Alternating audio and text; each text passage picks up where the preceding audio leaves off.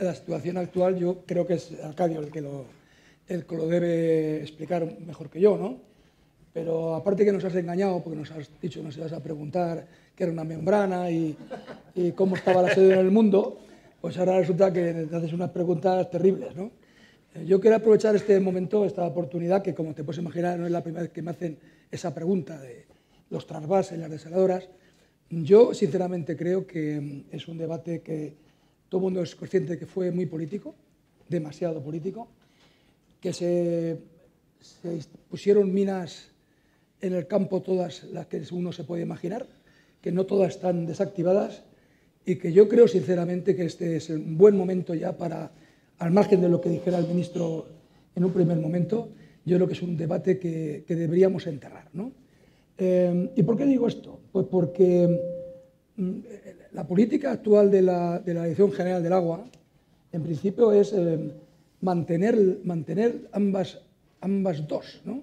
Eh, es decir, cuando, cuando, hemos presentado en, en, en, el Foro Mundial de Corea el, el, sistema de gobernanza español del agua, deja clarísimo que, que ese sistema de gobernanza se, se basa fundamentalmente en una gestión integral de los recursos y apoyándose en dos pilares. ¿no? Un pilar eh, que es el pilar de la infraestructura, y en la infraestructura está, lo dice claramente, los embalses, las desaladoras, las transferencias, etcétera, y luego otras medidas de carácter no estructural.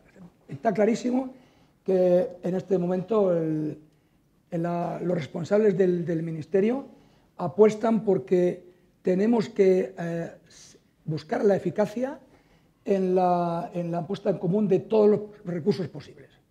Esto ya sé que las desaladoras están al porcentaje que, que luego nos contará, nos, nos, contará mejor Arcadio, pero bueno, eh, mm, luego si queréis vamos un poco, eh, haciendo un poco de crítica al programa, voy a dejar hablar a mis compañeros, luego si quiere vuelvo, porque sí, hay que hacer un poco de crítica, quizás el ejercicio de planificación que se hizo en su momento no es no es el mejor, es para, no, no, es para ponerlo en un, en un MBA de esos que habéis hecho casi todos menos yo, pero, pero bueno, yo sinceramente creo que, sinceramente creo que, que vamos a dejarnos de, porque sinceramente, todo, si todo lo miramos con el sesgo que se miró hace un montón de años, es imposible tener la serenidad suficiente para hacer un análisis y saber de verdad qué cuesta una desaladora y qué cuesta una no desaladora.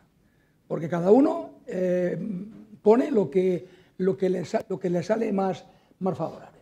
Dejo aquí y luego sigo, ¿vale?